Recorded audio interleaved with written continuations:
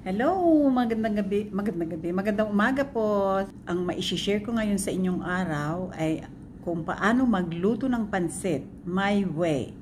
Kasi 'di ba normally pag nagluluto tayo ng pansit, ang ginagamit natin ay manok o kaya baboy.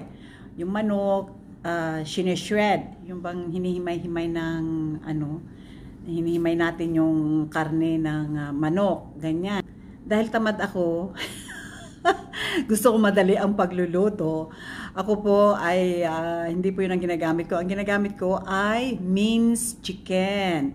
Minced chicken, yung uh, giniling na manok. Yan. At uh, kasi gusto ko mabilisan nga lagi ang pagluluto ko. Ganyan. Eh, mahilig pa naman ako ng pansit. Kaya ayun po, papakita ko sa inyo ang pagluluto ng pansit my way.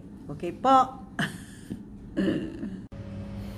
the ingredients for pancit with uh, minced chicken. This is the minced chicken. Yeah, and put little bit of shrimps. And uh, this is the pancit canton and pancit bihon. And this is already pre-soaked. This is the cabbage, grated carrots and the cut carrots and celery and onion, garlic. this is the garlic. Where's the garlic? Yeah, garlic, oyster sauce, soy sauce, and the uh, powder pepper. So now we have the cooking oil. Yeah, this was I, where I took the soy sauce and uh, oyster sauce. So let's start cooking now. So this one is preheated. So you will know if it's ready to start cooking when you can feel some heat rising up here on the pan. Right.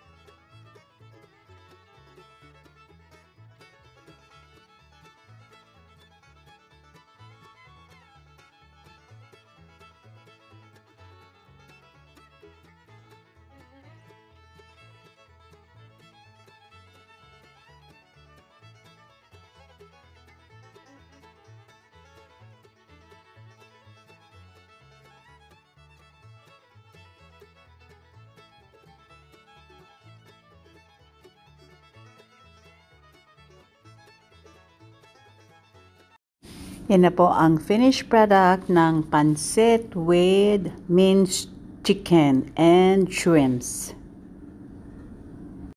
Alright po, hanggang, hanggang dyan na lang at uh, po kayo nag-subscribe subscribe sa aking channel, please subscribe. Kung gusto din ninyo, paki-share, comment, and like. Okay po, paalam at uh, God bless. Take care. I love you. Bye. See you again.